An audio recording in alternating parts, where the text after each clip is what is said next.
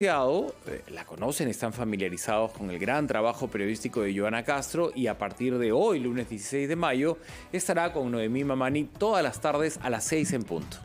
Todas las tardes, Mauricio, de lunes a viernes, junto a Noemí. Noemí está en la ciudad imperial. Yo voy a estar aquí en Lima. Está además enlazada, está en la línea telefónica. Noemí, un fuerte abrazo. Te adelanto el abrazo del día. Hola Joana, hola Mauricio, qué lindo verlos desde lejos, pero cerquita también, la magia de la tecnología. Y sí, pues contenta de poder iniciar una nueva etapa junto a ti, querida Joana, y bueno, contigo, querido Mauricio, que te, veo de tiempo. ¿ah? Bueno, estoy en contacto porque siempre te veo. Sí. Todo guapo como siempre. Te agradezco, Noemí. Imagínate, nosotros eh, agradecidos contigo, con tu aporte, descentralizar a nuestro país, de verdad que es creo que un reto, un desafío que tenemos como medio y materializarlo a través de esta dupla maravillosa, tú desde la ciudad imperial con tu inteligencia, con tu agudeza, con tu carisma. Y Joana acá en Lima, con los invitados que has visto cómo le temen. Vizcasa salió corriendo apenas le dije, Joana se fue. Cuidado que se venga a Cusco nada más, ya no, ya no lo recibimos. y, lo bueno es que, lo bueno es que Noemí y yo los vamos a poder acompañar en ese horario, Mauricio, y, y tener información utilitaria. A las seis de la tarde, quizás muchos ya pueden estar ligeramente agotados y, la idea es acompañarlos efectivamente, Noemí, eh, eh, darles información que les pueda servir, regresar muchos a casa y decimos regresar y acompañarlos porque han vuelto, por supuesto, a centros laborales, centros de estudio, eh, vamos a tener igual música, salud, tecnología, lunes de tecnología como hoy yo no soy la más tecnológica, así que me voy a apuntar también con todo lo que nos vaya a contar Jesús Vélez. Yo todavía mando telegramas. ¿Sí?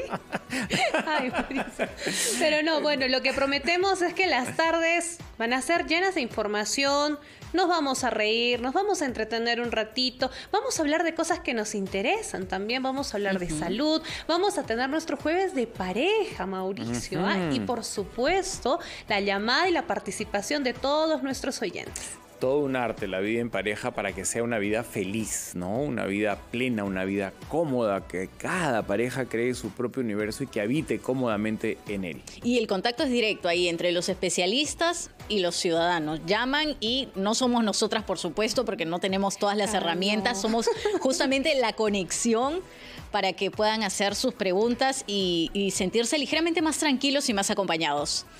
No tienen quizás las herramientas académicas, pero sí celebro que tanto Noemí como tú tienen la vivencia, la experiencia de vida, ¿no? Desde la cual abordan el tema por haberlo este, encarnado en muchos capítulos de sus propias vidas, ¿no? Son mujeres ambas muy jóvenes, pero con una experiencia riquísima que ponen a disposición de los oyentes.